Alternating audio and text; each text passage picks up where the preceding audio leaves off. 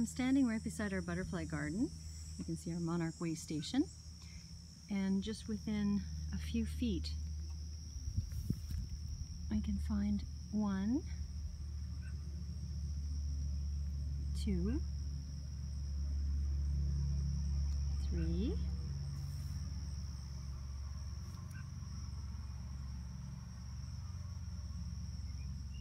four,